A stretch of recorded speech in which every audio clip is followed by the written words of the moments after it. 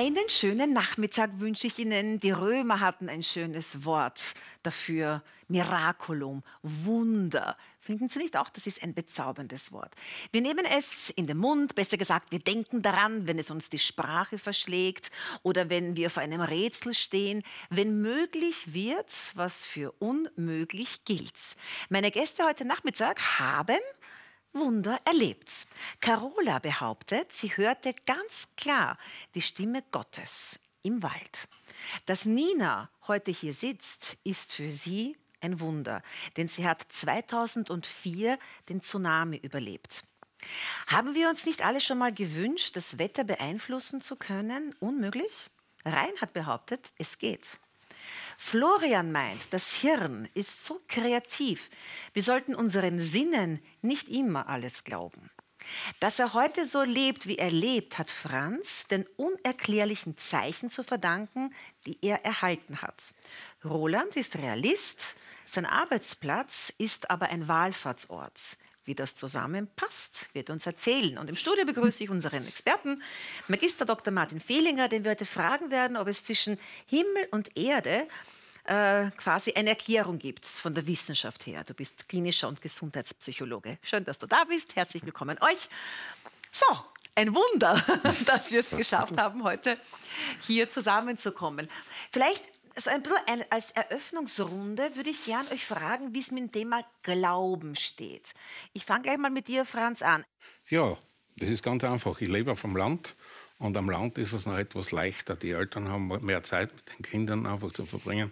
Und immer einmal kommt auch das Thema Glauben dann zur Erklärung oder zum Gespräch. Ich bin natürlich aufgewachsen wie jeder andere, aber Kirchen war bei uns das Hauptthema am Sonntag. Es hat uns einmal taugt, nicht wegen der Kirchen, sondern wegen dem Würstel und den Himbeerkracher natürlich. Ne? Aber das ist halt, als Kind empfindet man das alles ganz irgendwie nebenbei. Aber es ist ein sehr wichtiger Grundstock, was man als Kind kriegen muss, dass man eben später daraus auch noch schöpfen kann. Carola, bist du religiös erzogen worden, beziehungsweise glaubst du an einen Gott? Sehr. Und als Kind war es was Besonderes, mit dem Papa in die Kirche zu gehen. Ich war die dritte von sechs und wer kriegt jetzt die Hand vom Papa in die Kirche? Das, aber dann als Teenager war es uninteressant. Und dann war ich 44, wo ich gefragt habe, Herr, war das jetzt alles? Ich hatte also wunderbare Ehe, drei gesunde Kinder und ein Haus und schöne Reisen, aber da muss doch noch viel mehr sein. Und das habe ich gesucht und Gott sei Dank gefunden. Gut, werden wir auch gleich darüber reden. Florian. Wunder. Ich bin aufgewachsen im katholisch geprägten Müllviertel, ähm, bin Physiker, das heißt, dass mein Weltbild eher eben naturwissenschaftlich rational geprägt ist und ich glaube, da muss gar nicht unbedingt ein Widerspruch entstehen. Das heißt, äh, Glaube schon, ein bisschen was ist da. Da könnte man jetzt lang diskutieren. Nein, spielt für mich, spielt für mich in Wirklichkeit keine Rolle. Ich sehe die Welt als etwas, äh, was man verstehen kann mit Wissenschaft. Das heißt aber nicht, dass es nicht wunderbare Dinge gibt im Universum und dass wir das Staunen, das ganz tief in uns steckt, nicht zelebrieren sollen. Und äh, zusätzlich natürlich gibt es auch solche Dinge wie äh, Feste, die religiös sein können, wie Gemeinschaft, äh, Dinge, die ganz wichtig sind für uns. Und das äh, soll man auf keinen Fall gering schätzen. Vielleicht werden wir das anhand der Beispiele dann noch genauer mhm. Äh, diskutieren. Nina, glaubst du, Hast du an Wunder immer geglaubt? Ich bin äh, katholisch erzogen worden, habe eine Schule besucht, der, der Erzdiözese Wien, und bin schon äh, gläubig, aber nicht sehr intensiv. Ich bin keine Kirchengeherin. Ich habe mir vielleicht äh, das herausgepickt, was ich für sinnvoll erachte im, im, Glauben, im Glauben an Gott oder an eine, in einer Religion. Aber mehr ist dann nicht. Ganz intensiv ist es nicht. Der Reinhard? Ja, ähnlich wie meine Vorrednerinnen und Vorredner. Ich bin auch christlich erzogen worden, habe während meiner Schulzeit eigentlich das, bin da tief eingetaucht und habe mich aber dann durch die Ausbildung, durch meinen Beruf als Bauer äh, weiterentwickelt und ich sehe heute, dass die Welt oder das Universum ein einziger lebendiger beseelter Organismus ist. Äh, da bin ich beim Florian. Ich glaube, äh, man könnte alles erklären. Nur ist die Welt und das Universum so komplex, dass wir es mit unserem Verstand einfach nicht, nicht greifen mhm. können. Okay. Und der Roland? Ja, ich bin echt klassisch aufgewachsen, wie jeder 90 Prozent unserer Jugendlichen ja. oder in meinem Alter halt. Ja. Also normal getauft worden, ab und zu am Sonntag in die Kirche und bin eigentlich vor zehn Jahren, äh, nachdem ich das Gasthaus übernommen habe von, von meinen Eltern, wieder in den Wallfahrtsort zurückgekommen und seitdem befasse ich mich mehr mit dem Glauben oder ich bin jetzt nicht der Typ, der jeden, Tag in, also jeden Sonntag in die Kirchen mhm. geht, geht es ja zeitmäßig nicht aus, aber man befasst sich dann automatisch mehr mit der ganzen. Aber glaubst du an Wunder oder erklärst du das rational?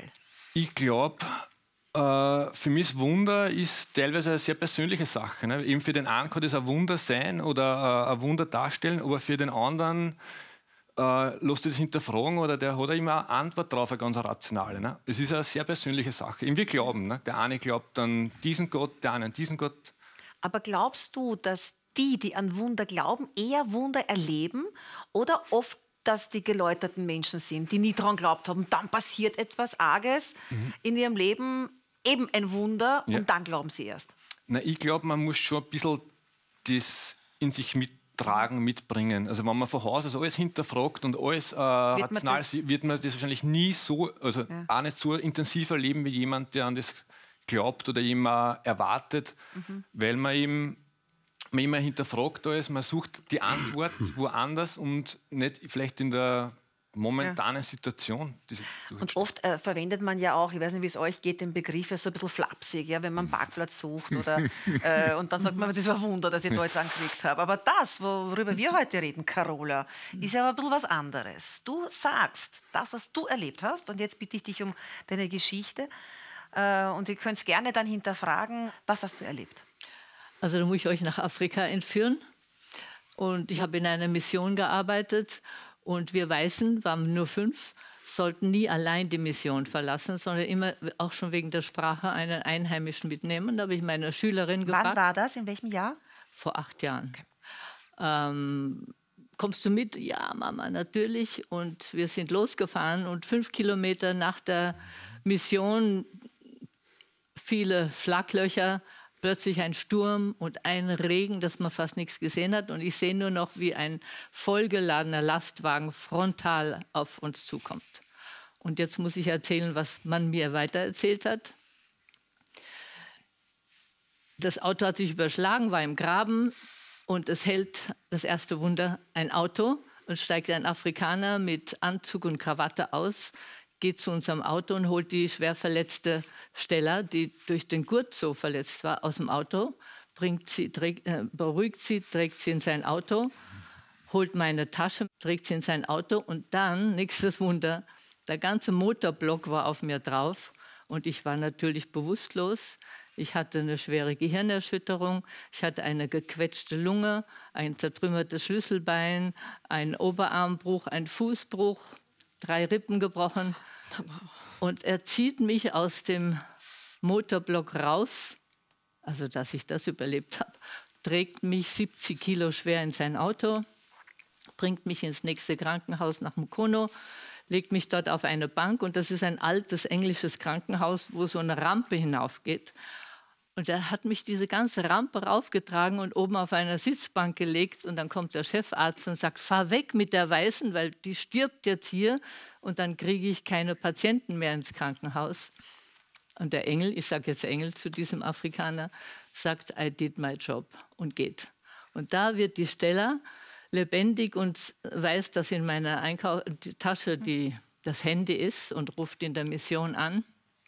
Es kommen zwei Autos meine Schüler tragen mich, der Arm hat ein eigener getra Schüler getragen, und in sein Auto und fahren mich nach Kampala ins internationale Krankenhaus. Und da, der Unfall war um 11 Uhr Vormittag, um 6 Uhr am Abend wache ich auf und rufe, hilft mir doch, hilft mir doch. Ich war am Ersticken, weil die Lunge war voll gequetscht. helft mir doch. Dann haben sie mir eine Sauerstoffmaske und ich habe das Zischen hören. Aber ich habe einfach keine Luft mehr gekriegt und Panik, meine Familie, ich bin irgendwo in Afrika, niemand weiß, Hilfe. Und dann passiert etwas, was das wirkliche Wunder war. Das Schlimme waren die Schmerzen. Nicht nur, dass ich keine Luft gekriegt habe, aber ich hatte so entsetzliche Schmerzen und keine Luft. Und auf einmal werde ich schwebend himmlisch schwebend, ohne irgendeinen Schmerz. Und ich weiß, dass Jesus neben mir steht. So klar, ich weiß, er steht da. Und ich höre, wie er sagt, give me your burdens, also gib mir, was dich belastet. Und dann sehe ich mich schwebend, die Arme nach vorne, vollgepackt mit Paketen. Und ich sehe seine Hände, wie er ein Paket nach dem anderen herausnimmt. Und das letzte große Paket, das er wegnimmt, da stand Family drauf und er nimmt Family weg und da weiß ich, jetzt kann ich sterben. Und das war so schön, unbeschreiblich, schwebend schön. Dann Türen knallen, Hold on, ein Schlag und Krach. Und dann ist wieder ein Wunder passiert. Ein Lungenarzt ist aus der Stadt Kampala um drei Uhr in der Nacht in sein Auto gestiegen und ins internationale Krankenhaus gefahren. In der Nacht fährt niemand in Kampala, außer ja, gefährliche Leute. Er ist gekommen und hat da eine Kanüle hinein und Wasser und Blut ist abgeronnen und wieder ein Wunder, die Lunge ist aufgegangen und ich war am Leben. Du würdest sagen, Florian, das sind vielleicht also das ist Schicksal, Zufall, Glück. Und kein Wunder. Ja, zunächst, na, als Wunder würde ich das schon sehen. Das ist eine wunderbare Geschichte, über die wir uns alle wundern. Ich würde es jetzt nur nicht als Wunder sehen im Sinn von etwas, was den Naturgesetzen widerspricht. Hm? Äh, was du jetzt beschreibst, das sind ganz individuelle Gefühle, die ich sehr, sehr wertschätze und das ist eine tolle Geschichte und wie gesagt, etwas Wunderbares. Äh, das Einzige, wo ich dann ein bisschen Bauchschmerzen habe als Wissenschaftler, ist, wenn man sagt, ähm, das ist irgendwie etwas Übernatürliches oder etwas, was rational nicht erklärbar ist. Aber wieso glaubst du, dass ich so klar Jesus das stehen gesehen habe? Naja. Ganz, das, das war so selbstverständlich, das war klar. Und ja, ich bin ein Christ und ich mhm. lese die Bibel, aber wieso war das so klar? Ich glaub, da muss ja eine Kraft mhm. sein, die mir das gesagt hat. Da bin ich nicht Obwohl sicher. Obwohl ich, ich möchte, halb tot war. Ich möchte das jetzt überhaupt nicht schlecht reden. Verstehe mich jetzt nicht falsch. Äh, ich glaube, dass die Geschichte, so wie du sie erzählst, für dich äh, wahr ist und sich wunderbar anfühlt. Und das möchte ich jetzt auf, auf keine Weise in irgendeiner Form entwerten. Aber natürlich kann man jetzt sagen, in so einer Extremsituation, wie in der, in der du warst, hm, ähm, macht unser Hirn, machen wir, macht unser Geist Dinge, die wir uns nicht erklären können. Und ich glaube, das kennt auch jeder von uns aus der eigenen Erfahrung. Vielleicht nicht in der radikalen Form, wie es du erlebt hast, aber wir alle wissen, wenn es uns vielleicht ganz schlecht geht, wenn wir in Panik sind, wenn wir in großer Gefahr sind, wenn es uns vielleicht auch körperlich schlecht geht, dann erleben wir Sachen, wo wir dann rückblickend eigentlich sagen, na Moment, wenn ich jetzt genau darüber nachdenke, das ist zwar so in meinem Gedächtnis, aber das kann nicht so ganz gewesen sein. Das ist nicht, weil man unaufmerksam war oder weil man sich was einredet oder gar weil man äh, nicht schlau genug ist oder so was Blödsinn. Nein, sondern das ist einfach, so funktionieren wir Der Menschen. Franz will was sagen. Also ich würde sagen, das hat mit Schlauheit oder sowas überhaupt nichts zu tun. Na, gar nicht. In deinem Beruf natürlich ist Pflicht, alles zu hinterfragen. Ne? Aber grundsätzlich so ein Erlebnis, mhm. wie sie gehabt hat, da steht nichts mehr daneben, was man hinterfragen kann. Muss das man ist Fakt. Ich, ich würde das jetzt auch die Geschichte so nehmen, wie sie ist. Ja? Äh, der einzige Punkt, wo ich dann eben nicht zustimme, ist, wenn man sagt, äh, da ist jetzt wirklich physisch irgendwie Jesus neben dem Krankenbett gestanden. Da sage ich, na, das genügt ja. mir nicht ganz. Aber es ist auch nicht wichtig für die Geschichte. Wie kann man so einen Hirnzustand erklären, was du vorher gesagt hast? Dass man dann im Hirn das irgendwie da denkt und dann irgendwie dann sagt, doch, es war anders. Wie erklärt man das in der Wissenschaft? Ja, man kann es schon erklären. Die Frage ist, bringt ja. es was? Weil lass ja, die Carola noch. Ich glaube eben an einen Schöpfer, der mir das, und da wäre ja ungeschickt, Gott, wenn er uns macht und nicht einen Ja. Input hineintut, der dann wirklich auch uns, uns fähig macht zu glauben. Wie, wieso glaub, sollen wir überhaupt glauben können? Richtig, ich glaube, es ist auch ganz egal, äh, was es ist, sondern jeder muss für sich finden, also die Antwort finden oder die Lösung für sein Problem finden. Und das Hirn macht wirklich in gewissen Situationen andere Dinge, als man vorher vermuten würde. Das ist genauso wie, wie wenn man einen Schock erleidet und manches nicht, den Schmerz nicht spürt. So hast- habe ich auch festgestellt, so macht das Hirn in einer Notsituation ein anderes Programm. Das finde ich wäre eine Erklärung dafür, dass man sagt, man sieht etwas, man fühlt etwas, es passiert irgendetwas mit einem, was eben neu ist und man sich für sich selber nicht erklären kann, weil man es so noch nicht erlebt hat.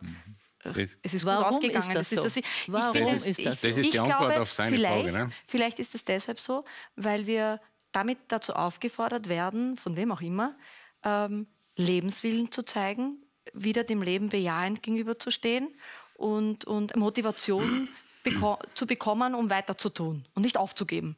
Aber da sind wir dann wieder bei der Frage, Schöpfer oder nicht, wenn wir von wem auch immer, wie du gerade gesagt Ja, hast, von wem auch immer. einen Weitergeist kriegen oder einen eingeflößt kriegen. Ja, Nina, genau. vielleicht magst du uns auch gleich deine Geschichte erzählen, was dir passiert ist. Du hast äh, 2004 diesen schrecklichen Tsunami überlebt. Aber Genau. vielleicht magst du uns erzählen, was davor passiert ist. Ich war in Kaulak auf Urlaub, bin am 24. Dezember dort angereist, war glücklich äh, über dieses äh, schöne Ressort und äh, habe mich auf einen tollen Urlaub gefreut. Und äh, habe dann eben Glück gehabt. Ich sehe das als Glück, weil es passieren so viele Naturkatastrophen und äh, ob es jetzt Großbrände sind, Erdbeben sind, irgendwo passiert etwas. Ein Teil der Menschheit stirbt dabei, andere überleben und haben Glück gehabt. Glück im Unglück. Aber das ist jetzt für jeden ein persönliches Wunder, aber kein großes Wunder, weil es können nicht immer alle gleich alle sterben. Und bei mir war das große Glück, dass ich ähm, mehrfach Glück, auch wie die Carola zuerst gesagt hat, das war ein kleines Wunder, ein kleines und ein großes. Ich habe äh, verschlafen, weil das Zimmermädchen am Abend die Vorhänge zugezogen hat und ich bin das nicht gewohnt. Ich habe es gern hell. Wenn ich munter war, bam. Also so spät, ne, so lang geschlafen. Wollte zum Frühstück gehen. Wir haben dann beschlossen, wir gehen frühstücken. Hat sich ein bisschen verzögert. Wir hätten einen Termin gehabt bei der, im Massagebereich. Den haben wir dann nicht wahrnehmen können, weil auf einmal das Telefon geläutet hat und die Reiseleiterin sich gemeldet hat, sie ist schon im, im Hotel und sie würde uns zu dem im verfrüht, wenn es geht, zu dieser Sonderreise, Ausflugsreise dabei also gerne treffen. Mhm. Und ich sage so, jetzt haben wir verschlafen. Frühstück geht sich nicht mehr aus. Massage ist hinten nach. Das, da kommen wir halt ein paar Minuten spät. Aber jetzt gehen wir in die Rezeption. Und du musst nicht mitgehen. Du musst nicht mitgehen. Ich mache das jetzt aus, diesen Ausflug und gehe. Und ich, mir ist trotzdem mit mir mitgegangen. Auch ein großes Glück. Denn im Frühstücksbereich hätten wir nicht überlebt. Im Massagebereich hätten wir nicht überlebt. Die Reiseleiterin ist zum Glück zu früh gekommen. Darum waren wir um die Zeit im Rezeptionsbereich. Und dort haben wir überleben können, auf dem Dach von dem Haus, das natürlich 300, 400 Meter weiter weg vom Strand ist. Bei uns im Hotel waren von 600 Personen 550 tot. Und wir haben es beide überlebt. Aber ihr wart dabei, als die Welle kam. Wir waren im Wasser, mittendrin, nicht nur dabei. Man hat ja damals äh, den, den ähm, da haben ja sehr viele Berichte gab es damals, Genau. dass ganz weit weg draußen war ein weißer Strich. Und Tsunami kannten ja viele Niemand, nicht. niemand also hat eigentlich gewusst, was das ist. Wir haben es nicht gewusst und wir haben auch den weißen Streifen nicht gesehen, sondern als wir in dem Rezeptionsfoyer gesessen sind mit der Reiseleiterin, war auf einmal irgendetwas komisch. Leise, zu leise, keine Ahnung. Wir sind nur aufgesprungen und haben von, von der Plattform über dieses Ressort hinunter zum Meer hinuntergeschaut. Und da war eine Wasserwand direkt am Strand, höher als die Palmen. Und diese Wand ist auf uns zugekommen und hat sich eigentlich erst im Ressortgelände überschlagen. Und hat dann diese Wassermenge, hat das ganze, das ganze Hotel, Rezeptionsgebäude, alles ausgeschwemmt. Und, und da haben wir äh, die Chance gehabt, aufs Dach zu kommen. Auch wieder mm, Glück, Glück, dass wir einfach später aufgestanden sind, Glück, dass wir nicht bei der Massage waren, dass wir nicht im, beim Frühstück waren und dass die Reiseleiterin früher gekommen ist. Ne, oder ein Wunder. Ja, oder ein Wunder. Oder ist es einfach nicht. nur eine, eine dann, ja, andere Bezeichnung? Eine andere Bezeichnung vielleicht, weil, weil sonst müsste ich sagen, die anderen 50 haben auch ein Wunder erlebt. Und ähm, ja, das Reinhard, was denkst du? Dass du jetzt gerade so genickt Ja. hast. Also ist das für dich Glück, Schicksal? Es sind zwei Begriffe, Glück, Wunder und ich denke einfach, es sind unerklärliche Phänomene. Wir können es aus der heutigen Sicht mit unserem Hirn, mit unserem Verstand nicht erklären. Nein, man kann Ja. sich nur denken, vielleicht gibt es doch irgendetwas, das uns lenkt, unser Schicksal äh, irgendwo besiegelt. Vielleicht haben wir doch, äh, wenn wir auf die Welt kommen, schon das Ablaufdatum am Buckel und es war halt noch nicht so weit. Naja, aber Wie gibt es das, dass wir beide mehr oder weniger unverletzt überlebt haben, rund um uns Tote gelegen sind? Viele, viele Kinder, die in ihrem Leben noch nichts verbrochen haben, sterben mussten. Das, da frage ich dann nämlich, ist es wirklich Gott, der das so haben will? Oder ist es irgendeine andere Macht, die uns so lenkt? Äh, und spricht doch jetzt eher gegen die Macht, die lenkt. Ja? Weil ja offensichtlich, äh, wie du sagst, wenn da irgendwelche Kinder, die sicher äh, den Tod Ja. in keiner Weise irgendwie verdient, Verdient, haben oder so, ja. wenn man das überhaupt von irgendwem sagen kann. Also äh, ich glaube, also mir hat es sehr gefallen, wie du das gleich am Anfang beschrieben hast. Mhm. Und ich glaube, wir sehen das sehr ähnlich. Du hast gleich von, von Zufall auch gesprochen und, und den Begriff verwendet. Und ich glaube, bei diesem Beispiel sieht man das besonders gut. Wenn du sagst, 550 Leute von 600 sind dort gestorben. Mhm. Ja, das muss man sich mal vorstellen. das kann man ja. sich kaum vorstellen. Nein. Ne?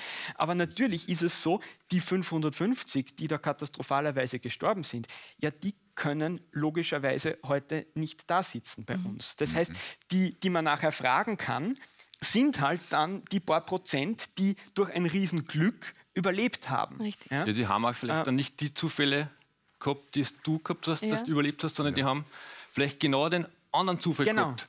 Der wollte vielleicht eh aufs Dach gehen, hat sich aber gedacht, geh nur mal zur Massage oder geh runter zum Pool. Also, Ganz Und genau. das Wunder ist ja dann die Häufung der Zufälle. Ne? das ist das, das definitiv. Also, Aber irgendwer muss dieses Glück haben. Ja, irgendwer muss halt dann die Person sein, die zu dem Zeitpunkt halt am Dach ist. Und irgendwer muss die Person sein, die Warum? halt äh, im Massagestudio gerade dran ist. Warum muss das sein? Warum?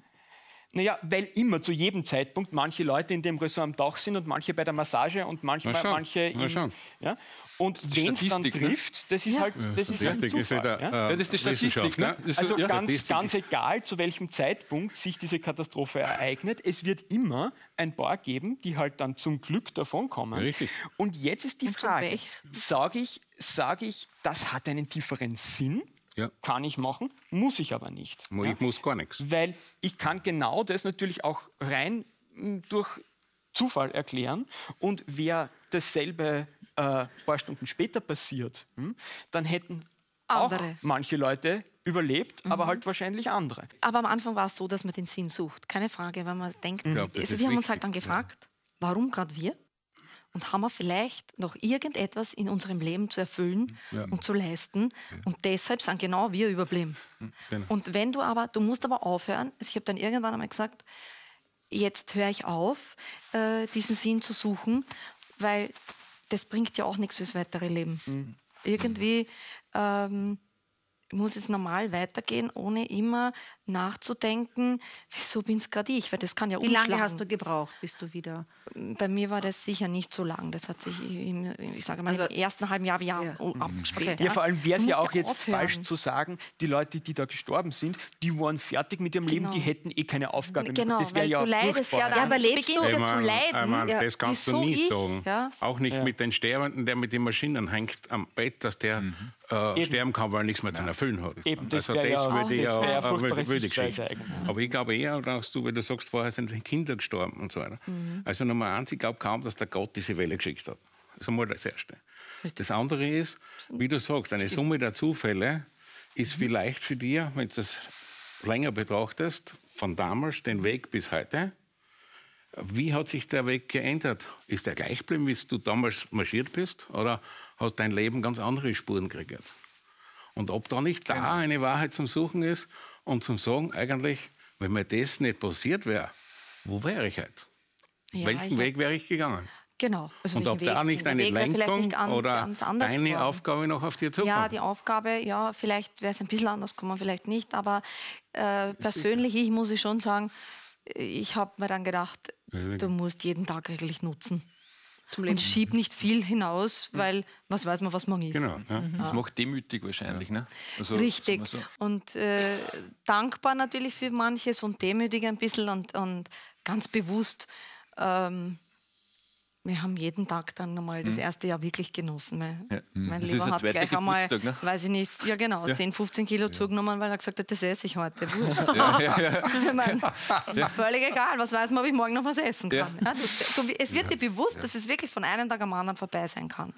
Und äh, wir haben es auch zelebriert. Also wir haben zehn Jahre lang am 26. Dezember eine sogenannte Tsunami-Party gefeiert äh, mit allen Freunden und das Motto der Party war Essen und Trinken so viel nur geht, wie wenn es der letzte Tag im Leben wäre. Ja. Der Reinhard wollte das sagen. Ja, ich wollte ja. noch was sagen. Ich weiß nicht, ob ich es richtig im Kopf habe, aber vom Albert Einstein gibt es den Spruch, der Herrgott würfelt nicht. Und der war ja auch Physiker. Mhm. Ich glaube schon, das ist meine feste Überzeugung, dass hinter diesen Geschichten oder eigentlich hinter allem, was in unserem Leben passiert, ein Sinn dahinter steht. Ja? Nur er ist im Moment nicht greifbar. Ja? Und das kann ich jetzt auch nicht beantworten, warum es euch 50 ja. verschont hat und mhm. äh, die anderen 550 äh, ums Leben gekommen mhm. sind. Ja? Nur aber wie gesagt, ich bin Bauer und jetzt nicht Religionswissenschaftler. Nur ich denke eins, und vielleicht hängt es auch mit dem zusammen, dass ich halt viel in der Natur draußen bin. Ja. Äh, ich glaube, wir sehen das immer zu viel auf uns als Person bezogen. Ja. Äh, man muss das auch als gesamte Menschheit oder als gesamte Welt sehen. Und da steigt unser Hirn aus, weil das sind so komplexe Vernetzungen, mhm. die wir einfach nicht erklären können. Aber, und das höre ich auch so aus diesen beiden Geschichten aus, äh, für euch hat das sehr wohl einen Sinn, weil das hat euch ein Leben massiv äh, geprägt mhm. und wahrscheinlich auch eine Richtung gegeben, mhm. die sonst nicht gegangen wird. Aber du, lieber Reinhard, wirst uns gleich etwas sehr Interessantes erzählen, denn ich weiß nicht, ob Sie wissen oder daran glauben, dass man tatsächlich das Wetter beeinflussen und ändern kann. Das wäre dann wirklich ein Wunder. Und ob es das gibt, darüber reden wir gleich.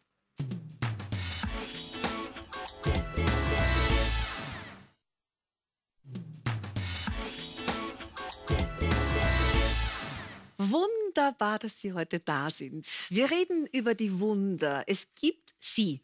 Meine Gäste haben sie zum Teil erlebt, auch wenn nicht alle äh, als Wunder bezeichnen diese Dinge, die quasi sich zugetragen haben. Franz, dessen Geschichten wir gleich hören werden, sagt, dass das lauter kleine Wunder sind, die ihm widerfahren sind. Carola hat einen schweren Autounfall in Afrika erlebt und es war wirklich eine Verkettung glücklicher äh, Umstände, die dazu geführt haben, dass sie überlebt hat, heute hier sitzt. Für sie ist es trotzdem ein Wunder, als Jesus neben ihr gestanden ist und ihr die Päckchen abgenommen hat. Florian sagt, unser Hirn ist wahnsinnig kreativ und gewisse Dinge bilden wir uns ein oder wollen wir so sehen.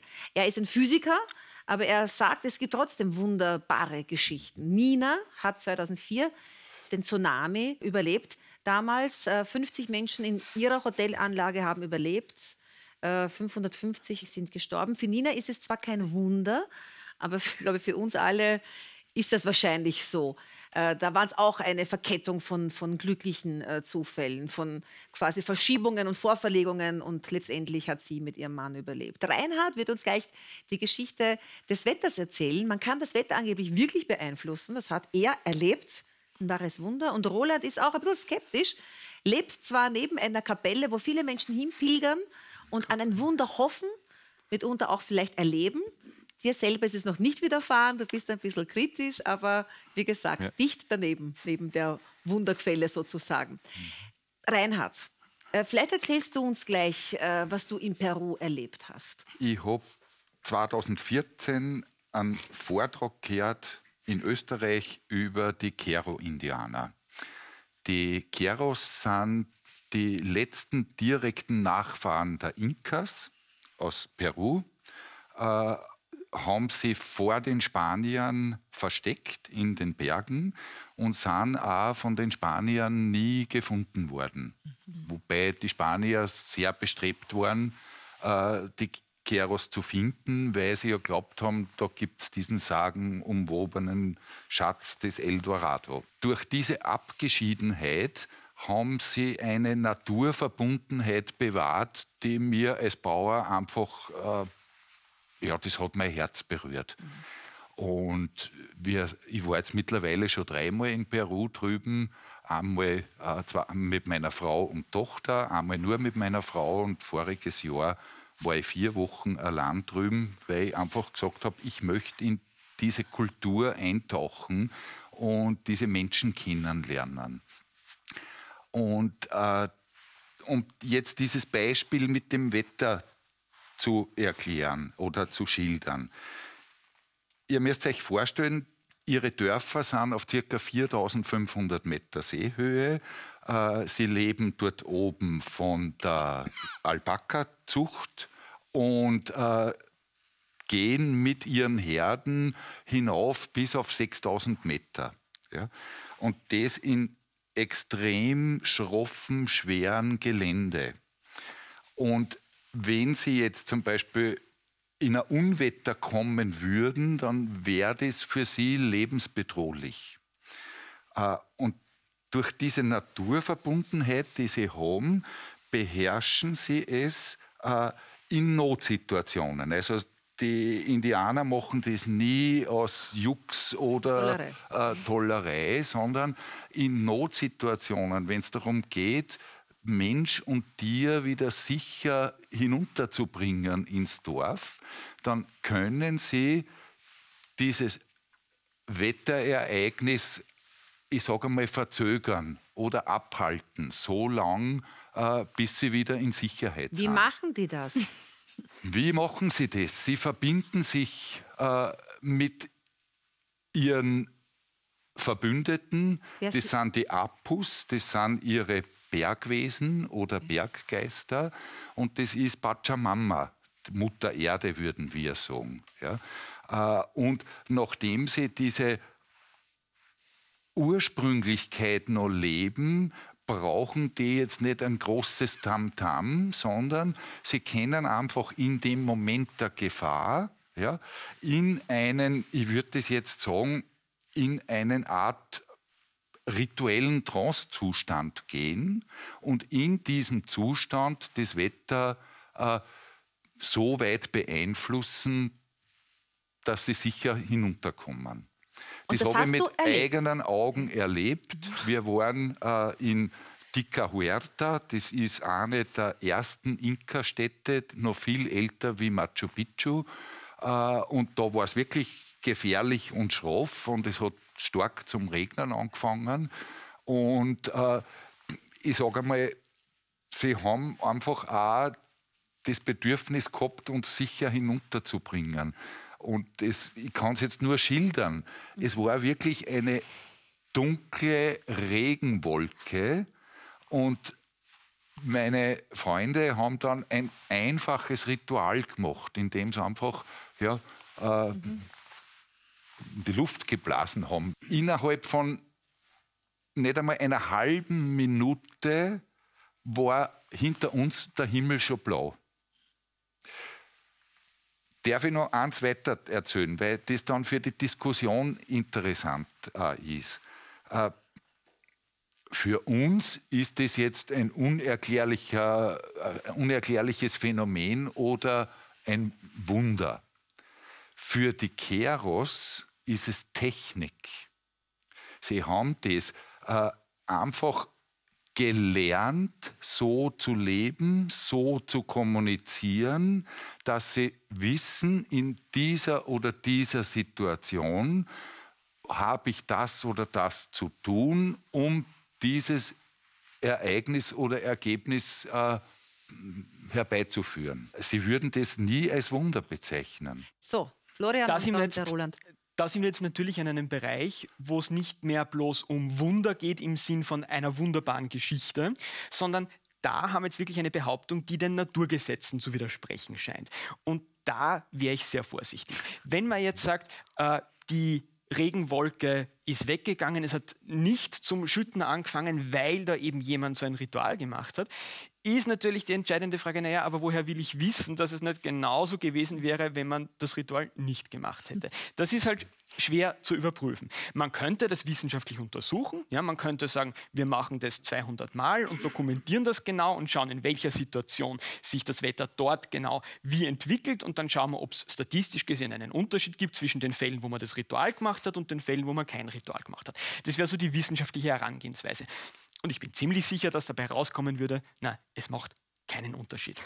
Ich hm, warne halt schon ein bisschen davor zu glauben, dass man mit Ritualen, so sehr ich Rituale auch schätze und für wichtig halte, wirklich jetzt in die Natur eingreifen kann. Interessant wäre es, ob diese Menschen erzählen, dass das immer funktioniert. Das wäre interessant. Ne? Hm. Also das, ob, ob, der, ob die Keros Wenn das immer funktionieren würde, dann würden nicht Alpakas abstürzen und mhm. ums Leben kommen. Okay, also ja. war das vielleicht doch äh, auch nein, nur ich möchte da eins schon dazu sagen. Wir reden sehr leichtfertig von Naturgesetzen. Ich habe auch eine naturwissenschaftliche Ausbildung. Ja. Ich möchte das Beispiel anhand des Bodens bringen. Du hast im Boden 100 Faktoren, wahrscheinlich viel, viel mehr, aber nur, dass wir es mitdenken können. Ich habe 100 Faktoren, die ineinander in Wechselwirkung stehen. Boden, Temperatur, Feuchtigkeit, äh, das ganze Bodenleben und, und, und. Ja.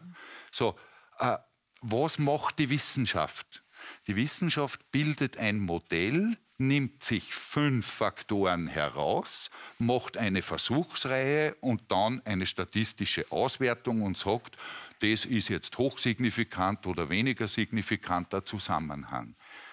Das ist nur ein Modell, mhm. ja, weil die 95 anderen Faktoren gar nicht mit berücksichtigt Und gerade in der Natur spricht man ja oft von Wundern, wenn irgendwo, ja. also durch den Asphalt äh, eine Blume durchkommt. Ja, das so. ist genau das, was ich meine. Das ja. ist ein Wunder. Ich stehe dazu. Das ist wunderbar. Das heißt aber nicht, dass es übernatürlich, ist. übersinnlich ist oder gegen Naturgesetze. Ja. Roland, ich denke mal zum Beispiel, so wie bei den Keros, wie du erzählt hast, äh, die sind eine Wolke rüberziehen. Bei uns war es ja vor 50, 100 Jahren nicht auch nicht anders. Wenn ein Gewitter aufgezogen ist, hat es Kassen, Eichen sollst du weichen, Buchen sollst du suchen. Ne? Mittlerweile ist man draufgekommen, ja. der Blitz schlägt da und tut da. Ne? Also es ist... Äh, und eben wie der Florian sagt, man müsste das wirklich statistisch hinterfragen, weil wenn man denkt, wir haben ein Wettereignis gehabt in, in Spitz, wo quasi ein Hagelsturm die komplette Weinernte vernichtet mhm. hat. Und wenn das wirklich so funktionieren würde, weil man versucht es eh mit den Hagelflieger zum Beispiel, auch, dass man sowas abwendet. Ne? Aber wenn sowas wirklich funktionieren würde, zu 100 Prozent, ne? dann hätte jedes Weinbaugebiet einen Kero, der die, die, die Wolken da Aber du, mein lieber Freund, ja? sitzt da quasi an einer vermeintlichen Wunderquelle. Wo ist das? Oder, ja, oder was passiert sind, dort? Unsere Quelle ist erstmals urkundlich erwähnt worden 1640. Und 1806 ist ein Bauer vorbeikommen und der hat an einer melancholischen Krankheit gelitten. Man würde halt sagen Depression, mhm. Burnout wahrscheinlich. Und ist, hat von der Quelle getrunken, ist er geheilt worden und hat dort einen Bildstock errichtet. Und ein paar Jahre später ist äh, von Nachbarbauernhof, der Kotbauer, das ist also wir leben in einem Waldgebiet, also das ist ungefähr eine Luftlinie einen Kilometer weg, ist da hingegangen, hat sich dort die Augen ausgewaschen, weil er ein Augenleiden gehabt hat und ist dann wieder sehend worden und hat dann als Dank, dass er wieder sehend worden ist, 1809 dort eine Kapelle errichtet und das hat sich dann eigentlich äh, ist immer größer, größer, größer geworden und und das hat sich dann bei uns sie eingebürgert in der Region. Also es, wir sind ein kleiner Wallfahrtsort, da kommen die Leute hin zum Augenauswaschen. Und es gibt äh, belegt, also auch von den 60er Jahren, wirklich Leute, die was geheilt worden sind. Mir hat das nicht in Ruhe lassen, habe das auch eben hinterfragen wollen. Da bin ich von Florian seiner Seite. Wir haben das Wasser überprüfen lassen. Auch unser Wasser ist auch im Gasthaus, also wir hängen direkt an der Quelle dran. Was steckt dahinter? Das Wasser kommt direkt aus dem Felsen raus. Das ist ein riesen Granitblock quasi, der Hügel, also der Berg, was hinter uns ist. Und das Wasser wird dadurch gefiltert und ist, kommt extrem rein raus aus dem Felsen. Also wenn man jetzt im Augen, also Augenleiden hat eine Entzündung und man bringt das Wasser rein und wascht das aus, man bringt keine neuen Bakterien nichts rein, sondern man wascht wirklich die, den Schmutz, den man im Auge hat, raus, ohne dass man was Neues reinbringt. Und das ist eigentlich die logische Erklärung und wir haben da mit Spezialisten darüber geredet und das, so ist das eigentlich zum Hinterfragen. Und das, ja, es Und wo ist funktioniert das? Wo ist das? auch. Äh, zwischen Melk und Ips, gerade am Nussbaum. Da Und, und du, du hast ja oft die Augen gewaschen, aber grün Ja, ich meine, ich, ich müsste, ich müsste jetzt die Brühen runtergehen, weil sonst sind wir geschäftsschädigend, aber es, nein. Aber, Aber das sind ganz interessante Phänomene. Man kennt Ja. das ja von unterschiedlichen Orten, zum Beispiel aus Lourdes, Mhm. wo äh, tausende äh, Leute ständig hinfahren, um sich von irgendwelchen Heil, äh, äh, Leiden erlösen zu lassen. Und das ist interessant, weil das ist wissenschaftlich ganz, äh, ganz gut untersucht. Warte, bevor du weiterredest. Merk dir deine Worte. Lass mal zuerst den Franz Bitte. erzählen, der nämlich nicht nach Lourdes, sondern nach Medjugorje, glaube ich. Okay. Ist egal, dort war auch schon. Wo, wo. Aber die Wissenschaft kann viel nicht erklären und dann suchen sie halt dann vor. Was und hast- was hast du Und erlebt? wie er schon gesagt hat, fünf Ursachen wurden untersucht von der, von der Wissenschaft, fünf Pakete wurden geschnürt, fünf Ergebnisse gibt und die 95 anderen Ursachen, die tatsächlich vielleicht Ursachen sind, werden nicht berücksichtigt. Na, Da so bin ich bei blöd ist die Wissenschaft Nein, nicht. sie ist Das sehr schaut man sich schon an, nicht was man alles berücksichtigen Ja, aber im Aber Grundsatz er, ist erzähl, es so. Franz, was dir widerfahren ist oder we- welche Wunder du erlebt hast. Ja, Wunder. Also, wenn man die Augen offen hat, hat man sehr oft ein Wunder. Ne? Und so wie es dir passiert ist, wo du gar nicht weißt, du bist halt jetzt überblieben, dass man das so sagen darf. Die anderen haben leider müssen sterben. Und das geht so dahin und du sagst, ja, Glück. Ne? Aber du hast im Leben Wunder hinterher gedacht, weil dann kannst du das besser aufarbeiten. Mir ist einiges passiert, ne? wo ich persönlichen Weg ganz einen anderen gefunden hätte, dann, wenn das aufgegangen wäre. So. Aber das ist eine andere Geschichte. Aber grundsätzlich, was ein Wunder ist, wie hat es einmal am 1. April in den 90er Jahren, war ich auf dem Bau, auf so einer Forststraße gebaut. Und da habe ich eine riesen äh, Wand gehabt. Und ich arbeite so dahin und schaue mich hin, kommt die ganze Wand auf mir drauf. Ne? Hat es mich verschüttet. Da ist umgegangen, also das kann man gar nicht nachvollziehen. Ne? Und da kommt das Wunder dann wirklich ins Spiel. Die Baumaschine, also die Kabine ist so umgehängt. Alle Scheiben waren hin, nur die eine Scheibe, wo ich gesessen bin, das war die Scheibe, die ist ganz geblieben. Ich habe dann die Kurven gekratzt und habe dann nachher rausflüchten können. Dann das nächste, was ist, also das so wie der Fußsockel von der Barbara, ist ein Felsnosen auf hunderte Kilometer. Und mein Parker durch die Wucht dieses Erdfalls hat es natürlich auch mit rausgeschoben. Und wenn ich da drüber gekommen wäre, dann wäre es ins Tor gegangen. Also da wär, hätten wir uns leider nicht kennengelernt. Aber warum stehe ich genau jetzt auf der Felsnosen? Ein das Schritt ist- weiter vorne wäre der dort Das gewesen. ist genau der Punkt. Das passiert Genau. vielleicht 500 Leute, ja? Das passiert mehrere, Und- nicht dasselbe, aber aber so was Ähnliches. Ähnliches. ja, bei 499 geht es schief, ne? Genau. Die meisten Glaub ich haben nicht. Der und, der anderen. eine, bei dem es halt zufällig durch eine Verkettung von Zufällen, dass diese Scheibe ganz bleibt, dass da die Felsen Ja, aus- äh, gut. Das ist halt der, der halt da sitzt das ist die wissenschaftliche Erklärung dazu. Ich habe einen Chef gehabt, von dem ich glaube, der ist nicht gläubig oder so, oder hätte wäre mir nicht aufgefallen, ne, sage ich mal. Und dann hat er gesagt, ich kann natürlich heimgehen, weil so ein Schock und so weiter und so fort. Und dann sage ich, wenn ich heute von meinem Missgeschick davonlaufe, laufe ich morgen erst recht davon. Ne? Also bleibe ich. So habe ich meine Baumaschine mit einem ankommenden Eigenbacker ausgegraben. Gell? Und dann haben wir ihn geborgen und dann haben wir ihn halt einmal entrümpelt vom ganzen Gestein. Und dann steht die Tür so offen. Dann sagt der Chef zu mir, Franz, jetzt weiß ich, warum da nichts passiert ist. Weil da ist mein Schutzengel pickt, den ich immer mit habe. Und da sind wir dann jetzt wieder bei Aufpasser und Wunder. Ja, aber den Und das kannst Schutzengel- das wissenschaftlich jetzt nicht Schutzengel haben erklären. sicher auch schon viele Leute picken gehabt, Ja. bei denen es nicht gut ausgegangen ist. Das weiß ich nicht. Ja, das bin ich sicher. Dein Ergebnis des Erlebnisses, ich kann nicht sagen, jetzt, ich bin froh, dass ich jetzt einen überlebt habe. Hinterher haben sie mit einem Dorf unten prügelt oder ich habe was anderes erleben müssen. Muss ich jetzt froh sein, dass ich nicht sterben kann? Aber Franz, da waren, waren viele Dinge, die, die so, wo, du- wo du dir denkst, wenn ich nur eine Stunde früher Genau. wohin gefahren wäre, Genau. war ich weiß nicht, verunglückt. Solche Genau. Sachen, wo man sich denkt, das ist. Also, Gleiche Erlebnis wie du mit der Zeit. Wir haben ein ganzes Transportunternehmen mit, mit, mit Reisenden, mit äh, Reisegästen natürlich, einem Busunternehmen. Und das haben wir im, im Bosnienkrieg in Medjugorje gewesen. Also das hat mein Vater erlebt, da war ich nicht persönlich dabei. Aber das ist auch eindeutig ganz schwer zu erklären. Ein Fahrgast, da man ja nicht so in einem Hotel genächtigt, wie jetzt üblich ist, sondern er hat in mehreren Häusern genächtigt und ein Fahrgast kommt nicht. Jetzt sucht man kein Telefon, so wie heute, das ist schon alles ganz einfacher.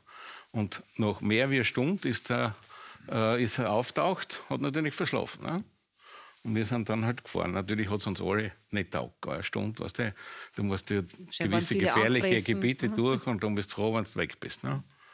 Und dann, wenn sie in Zara oben zugekommen, war gerade der Angriff vorbei. Also das hätte geheißen, wenn sie um Punktum weggefahren waren, dann wären sie mittendrin gewesen. Wie das dann ausgegangen ist, ist natürlich eine wissenschaftliche Verkettung von unglücklichen Zufällen. Was ist Nina? Aber ich glaube überhaupt nicht. Also schon langsam habe ich immer mehr das Gefühl, es gibt wirklich äh, Menschen oder Menschengruppen, wie auch immer, die haben noch etwas zu erfüllen im Leben. Ganz sicher. Weil ich habe auch mehrere Geschichten, das ist nicht meine einzige. Ja. Und meine Frage ja. ist... Ich habe ein Flugzeug, eine Notlandung verbockt, wo wir gelost haben. Ich bin ähnlich im Flugzeug von Nizza nach Paris geflogen, zeitig in der Früh, beziehungsweise dann nicht um, die, um sieben in der Früh abgeflogen, weil wir mussten alle aus dem Flugzeug noch einmal raus, weil Bombenalarm war. Wir haben eine Stunde lang dieses Flugzeug gecheckt, haben es dasselbe wieder hineingestellt und uns nach Paris geschickt. Und in Paris im Hotel drehen wir den Fernseher auf, war um elf am Vormittag äh, ein Terroranschlag, waren sechs Terroristen erschossen und äh, war am Nizza Flughafen war einfach Ausnahmesituation. Und wir waren aber zum Glück noch in der Maschine, die vor dem ganzen Wahnsinn dann doch abfliegen hat dürfen. Carola wollte was sagen? Ich habe eine Frage. Warum tun Sie so viel Gegenstimmen auf, wenn es um Glauben und um Wunder geht. Ich glaube, wenn man überall so einen tieferen Sinn, eine Bedeutung, einen Grund rein interpretieren möchte und von Wundern spricht, dann tut man der Natur auch ein bisschen Unrecht. Denn die Natur, so wie wir sie verstehen können als Menschen, ist wunderbar genug. Es ist doch alles voller Wunder. Ja? Wenn ich durch den Wald gehe, allein, dass es mich gibt, ist ein Wunder. Dass da Bäume stehen, dass da Blumen wachsen, es ist ein Wunder. Überall Wunder. Das heißt nicht, dass wir die Naturgesetze in Frage stellen müssen. Das heißt nicht, dass es irgendwas Übernatürliches ist, sondern das, was wir durchaus wissenschaftlich rational fassen können, ist doch für uns Wunder genug. Würde Nein. das unser Experte, der Magister Dr. Martin Fehlinger, auch so sehen? Was wird als Wunder bezeichnet? Naja, zum ersten Dinge, die wir uns nicht erklären können. Wir haben gehört, dass hier einfach nicht klar ist, warum es passiert ist und dann bezeichnen wir es als Wunder. Es erstaunt uns, es verblüfft uns und eine zweite Dimension, es ist etwas, das entweder den Naturgesetzen widerspricht, was wir sagen, das kann eigentlich so nicht sein, das muss ein Wunder sein, oder vielleicht auch unseren eigenen Erfahrungen, die wir gemacht haben in einigen Bereichen. Sondern dann geht vielleicht noch einmal so eine Schere auf, nämlich die, die eine Begründung dafür sehen, möglicherweise im Glauben, möglicherweise im Übernatürlichen und manche andere, die es vielleicht dann als Zufall oder übernatürlicher Zufall hier sehen, die aber dadurch vielleicht jetzt nicht eine höhere Macht mit darin sehen. Aber gibt es irgendwo auch unter Anführungszeichen Wunder, wo die Wissenschaft das als solche äh, erachtet, weil sie halt was sie scheitert an Erklärungen? Also der Begriff, der Begriff Wunder wird wahrscheinlich schwer in der Wissenschaft zu verwenden sein. Aber ja, ich glaube auch, es gibt Dinge, die wir a entweder wissenschaftlich nicht oder noch nicht erklären können. Ja, zum Beispiel, dass der Fleming das Penicillin gefunden hat. Das war schon ein Wunder. Na, selbstverständlich. Ein, ein Zufall, also eine Botschaft, ja. Äh, Schlampigkeit. Ja aber letztendlich ein Wunder. Also Dinge, die wir ja. vor, vor, damals noch nicht gewusst haben, die wir heute erkennen und so werden wir auch davon ausgehen können, dass in den nächsten 100, 200, 500.000 Jahren auch weitere Erkenntnisse kommen, die wir heute noch nicht wissen. Und gerade in der Medizin, wenn wir uns anschauen, da gibt es Verläufe, die nach bestimmten Wahrscheinlichkeiten sind. Und wir sagen, okay, bei den und den Diagnosen, bei den und den Werten ist mit einer hohen Wahrscheinlichkeit davon, davon auszugehen, dass das und das passiert. Aber es gibt dann auch wenige einzelne Fälle, die anders verlaufen. Das weiß die Medizin auch. Ja, und da sprechen wir halt langläufig von einem Wunder, aber es ist halt ein Ausreißer von einer gewissen Wahrscheinlichkeit. Jetzt haben ähm, viele, ich glaube, die Nina hat es auch äh, äh, erklärt oder gesagt oder glaubt daran, dass möglicherweise es doch so ist, dass ähm, man etwas überlebt, irgendeinen Schicksalsschlag, ein Unglück, äh, weil man noch etwas zu erledigen hat. Kann man das so sehen? Sehen kann man alles. Aber vielleicht unterscheiden wir zwei Dinge. Das eine ist, was ist tatsächlich passiert? Ne? Dass eben eine Verkettung von Umständen, die möglicherweise eine geringe Wahrscheinlichkeit gehabt haben. Wie oft verschläft ihr Nina normalerweise? Vielleicht sehr selten. Äh, wie oft ist ein Massagetermin ausgemacht? Vielleicht auch sehr selten. Da kommen schon zwei seltene Erlebnisse zusammen und so ergibt das eigentlich ein Szenario, das eigentlich sehr, sehr, sehr, sehr unwahrscheinlich ist. Aber nahezu jedes Szenario hat eine Wahrscheinlichkeit. So, und dieser Ablauf, den würden wir sagen, ist eine Ausnahme vielleicht vom Mainstream aus dem Leben der Nina. Jetzt haben wir das Zweite, das ist, dieses Erlebnis zu interpretieren. Ja, und das sind zwei Dinge. Das eine sind die Fakten und das andere ist die Einschätzung oder Interpretation. Und die Interpretation kann jetzt aus dem Glauben heraus sein, das kann darauf äh, zurückzuführen sein, dass ich noch etwas äh, erledigen muss, dass es noch einen Auftrag für mich gibt. Das wird jede Person, und da will ich eigentlich nicht urteilen, sondern das muss jede Person für sich selbst sehen. Wie interpretiere ich diesen Fall? Und natürlich suchen Menschen nach Interpretationen. Vor allem bei Carola und vor allem auch bei Nina sind das tra traumatische Erlebnisse. Also das lässt ja niemanden kalt. Man kommt zurück und ist verändert in der Psyche des Menschen. Das sind ja äh, Todeserlebnisse oder Nahtoderlebnisse, die hier äh, äh, erlebt werden. Ne? Und dass das dann irgendwo eingeordnet werden muss, wieso ist das so? Ich brauche eine Antwort. Antwort dafür, dass etwas ganz normal ist, was wir auch gut brauchen, um damit weiterleben zu können. Und welchen Weg die einzelne Person findet, das ist etwas Individuelles.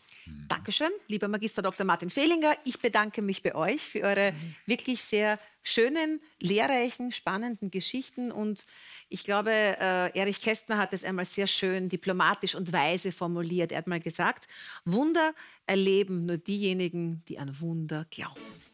Danke fürs Zuschauen. Baba. Sie lieben Österreich und ganz besonders Ihr Bundesland? Lassen Sie uns wissen, warum, wenn es heißt Wiener Schmäh und Steirer Herz. So viel Charme hat Österreich.